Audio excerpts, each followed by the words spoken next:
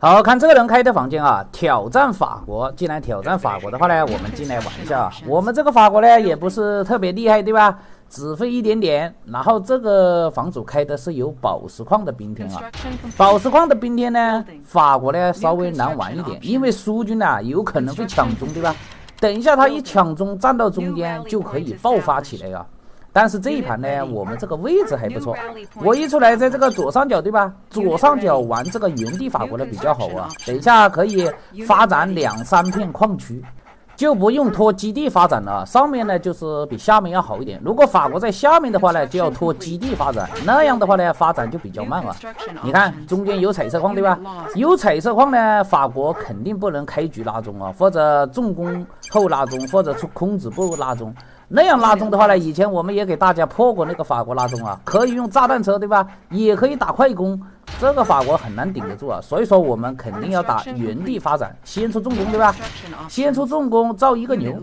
哎呦，这个对手你看，把我的狗全部咬死了，他把这个地图守得死死的，现在看不到他家对吧？赶快把这个狗窜到他家里来跑一圈视野啊！这个法呃，这个对手呢，起个名字说挑战法国，估计他打这个法国呢打的比较多，对吧？打这个法国有一点心得啊。我们看看这个对手玩的怎么样啊？哎呦，这什么打法？他居然不抢中！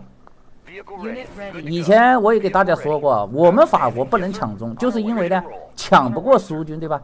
结果这个苏军呢，他不拉中，他不拉中的话，等一下到后期我发展起来了。中间的矿呢，他就抢不过我了，所以说这个苏军抢中间的矿啊，他要前面抢到后面，他要抢中间的矿呢，他就抢不到了。然后这个对手呢，出了一个牛，直接造坦克冲到我家里来打压制，你看到没有？我们就不要造多的牛啊，赶快出坦克，等一下他冲到我家里来，我就守不住。然后我看了一下他这个发展呢，他把基地拖到上面发展。既然你不抢中，那我就抢中了，对吧？我们造一个空子部，直接把基地拖到中间去。然后他的坦克想点我的坦克，哎，我们造一点狗啊，造一点狗可以扛伤害。然后把基地呢拖到下面来，先不要着急拖中啊，拖中的话战线太长了，因为他现在坦克压在我家门口。我们先把基地呢拖在第二层，哎，先拖在第二层，在第二层呢先出一个矿场跟巨炮，等一下再拖中啊。哎，你过来，你看，你两三个坦克，你敢过来？我们直接把你赶走。然后他想打我的基地，对吧？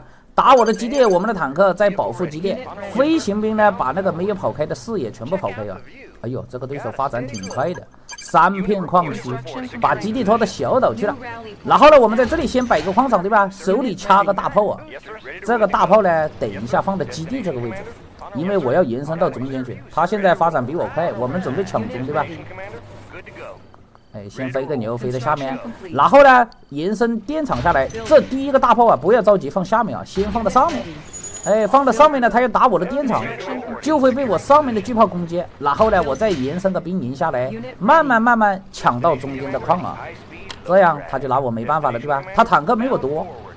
哎，你给我绕花园，我们就拐上来。等一下，我们在中间再出一个矿场，就可以把牛车呢。飞到中间去啊！然后这个对手，你看他在补牛，对吧？他看到我要抢中间的矿，他又补了一个牛车。其实他补不补牛对我影响不大啊，因为我马上抢到中间的矿了。然后在中间放个矿场，再放个大炮，这边打我兵连，把兵连卖掉。还得留一点坦克留在中间啊，因为我看到他中间停了两三个坦克，看到没有？我们分两三个坦克到中间去，然后这边打我的电厂，你打我的电厂，我就点你的坦克。哎，你冲过来，你看冒进了对吧？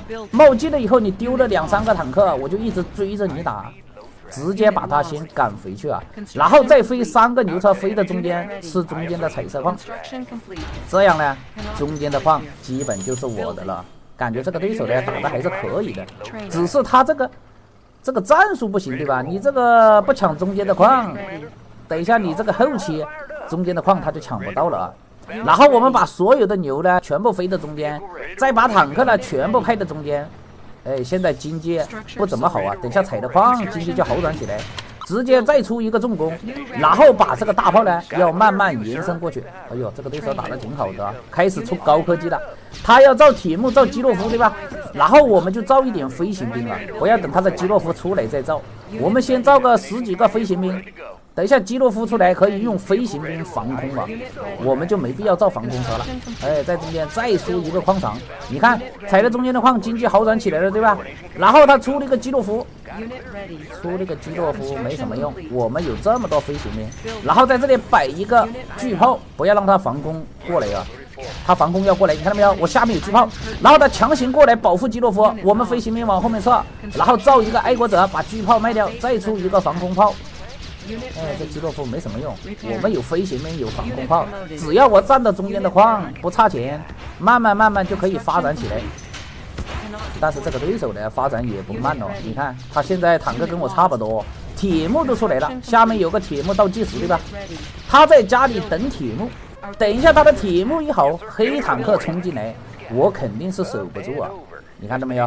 铁木出来了，而且他有三重攻，所以说呢，我们不能坐以待毙啊！我们准备呢，先延伸到他家里去，先不要发展后面的矿了啊！我们直接先延伸过来，压迫，给他一点压迫感，然后呢，直接飞行呢在后面挠痒痒，哎，吸引他的注意力，骗了一个防空炮，然后兵营照过来，巨炮直接照过来。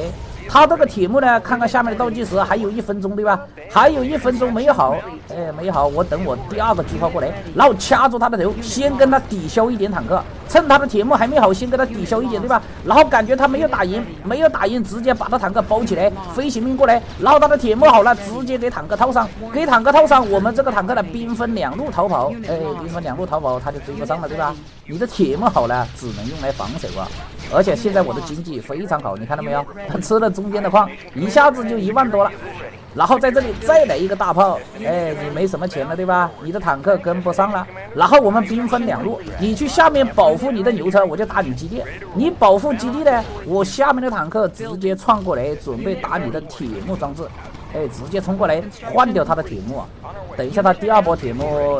他要好了，我直接给他干掉，然后这边直接过来掐住头，再甩一个大炮，哎，把你坦克全部吃掉，打掉基地。这边呢，铁木核电厂直接干掉他，他就受不了了，直接投降。好，来看第二局啊，这个对手呢，我感觉打的还可以啊，发展挺快的，只是呢，他没有抢中，对吧？所以说，原地法国呀，对付原地法国，苏军一定要抢中啊，你不抢中的话。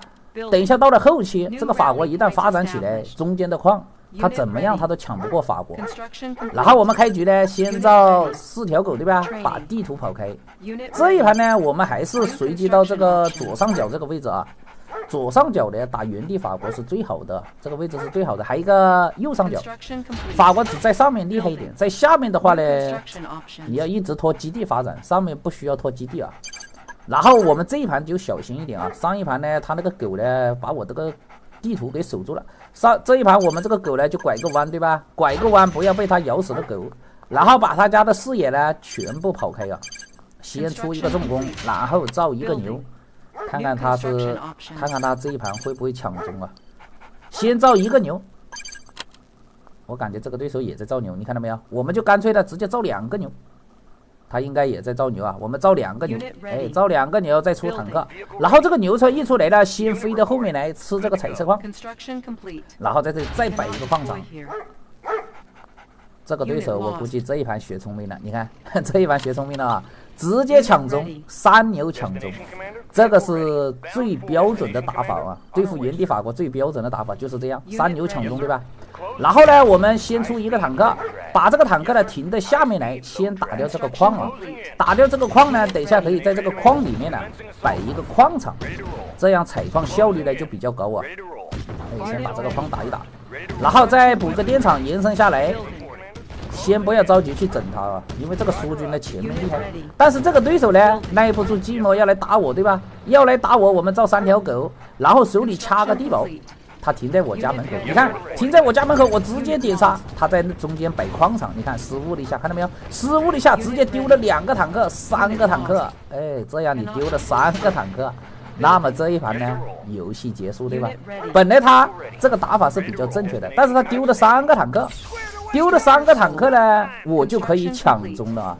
本来我是要等了三片矿以后再去抢中，这样你丢了三个坦克呢，我就可以直接延伸下来，对吧？所以说千万不要不要这个丢坦克，一旦丢坦克就跟滚雪球一样。我这个时候我就不造矿场了，本来我还想延伸到那个右边去造一个矿场，我就直接造两个兵营，直接把这个巨炮呢直接造下来。哎，我直接两个兵营造下来，对吧？然后在中间呢，先摆一个大炮，不要着急延伸的太近了啊，先立一个立一个大炮，等我第二个大炮出来，对吧？然后这个对手就有一点慌了啊，这下你站中站不站不住了，先给他踩一两车矿，等一下我的第二个大炮出来，他中间的牛呢就得跑了啊。但是这个时候呢非常卡钱，你看我这个直接造两三个兵营延伸下来，两块钱 没钱。不着急对吧？我这个大炮好了，你看他有可能想跟想跟我换甲啊，直接窜上去。我们直接把大炮放到这边，哎，封住这个上面的路口，不要让他走这个路口冲上去。然后这个巨炮就可以打他的牛，对吧？这个对手很慌，冲还是不冲？他有可能会带着牛车冲过来啊。然后他想了一想，不敢冲，不敢冲呢，要把牛车拖到后面去采矿，对吧？你拖到后面采矿，我就把牛车飞到中间来，然后延伸个兵营过来啊，再把这边的路口封住。防止他等下跟我换家，对吧？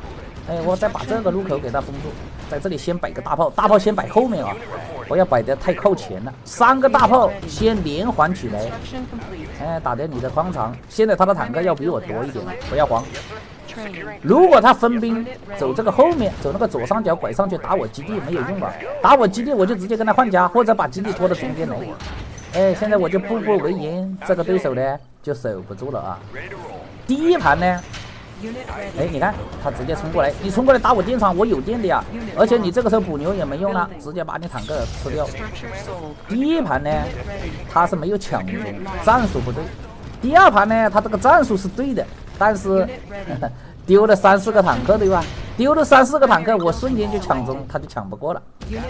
你看这一盘跟第一盘的死法一样，我们准备延伸过来呀。哎，直接造个电厂过来。坦克不要冲啊！我这个小飞熊伤害没他高，我们就这样步步为营，再接两个兵营过来，对吧？然后把后面的兵营卖掉啊！哎，我再接兵营，然后等一下延伸到那个上面去，就可以把他这个矿呢给他守住。等一下他又要拖基地发展啊！他感觉自己没什么钱，他又在补牛。我看到他又补了两个牛，这个时候补牛没有用的呀！我的大炮已经晋升了，对吧？哎，近身呢，我就这样高射，这个大炮打不到他，可以高射炮。这个子弹呢可以飘上去，看到没有？飘上去震他的矿场，先把他的矿场给他震碎，还可以震得到他的基地，你看到没有？你冲不冲？他不冲，他造辐射防守，造辐射防守，我继续往前面延伸，哎，往前面延伸，再来一个大炮，然后他受不了了，受不了了，带着辐射想来进攻，哎，你来呀，你来我就往后面退，我后面有很多巨炮，然后。然后直接把他这个基地赶走了，对吧？赶走了以后呢，我们直接兵营再招过来，把这个路给他封住。然后他想回去，回去我们就抓住你几个牛车，把你几个牛车全部干掉。这样这个对手呢，基本上就守不住了啊。那所以说，这个宝石矿的兵天呢，你这个苏军一旦没有抢到中，根本玩不了啊，直接带走。